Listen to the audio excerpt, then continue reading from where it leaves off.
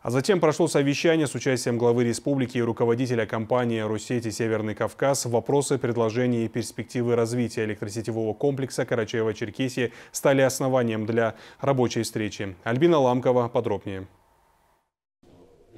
Оценивая работу энергетика в республике, глава Карачаева-Черкесии подчеркнул положительную динамику. Об этом говорят основные показатели в обеспечении надежности энергоснабжения. Проводится эта работа совместно с местными представителями власти, так как становление промышленного производства, туристического потенциала и инвестиционного климата в нашей республике во многом зависит от качественного надежного энергоснабжения, отметил Рашид Темрезов.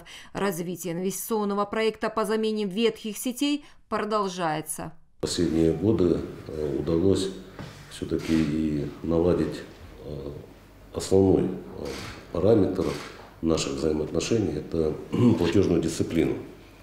И вот и по вашей информации, и по нашей информации сегодня мы одни из передовиков. Могу сказать, это касается не только платежей за электричество, это касается и платежей у нас и за газ, и за все другие виды коммунальных услуг. Несмотря на те или иные изменения в стране, работа ведется по подписанному протоколу. Заключили его почти три года назад. Еще есть ряд вопросов в Южной подстанции, отметил руководитель региона. Решение поставленных задач требует совместной работы. Практически осенне-зимний период подошел к концу.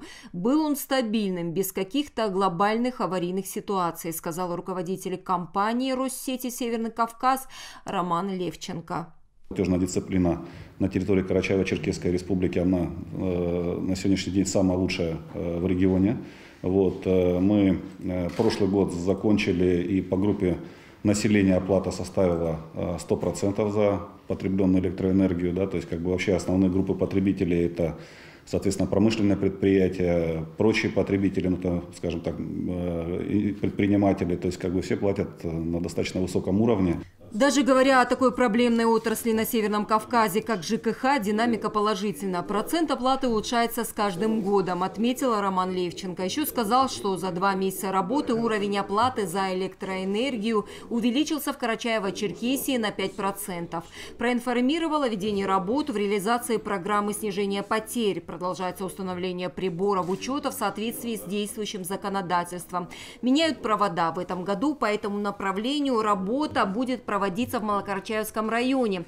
Еще планируют организовать в республике энергосервисный контракт. Глава региона озвучил и важную социальную инициативу. Предложил разработать совместную программу по льготам на услуги в сфере электросетевого комплекса для членов семей военнослужащих из республики, выполняющих задачи в зоне СФО. В ответ Роман Левченко сказал о необходимости в создании совместной рабочей группы. Альбина Ламкова, Либо Станов, Вести Карачаева-Черкесия.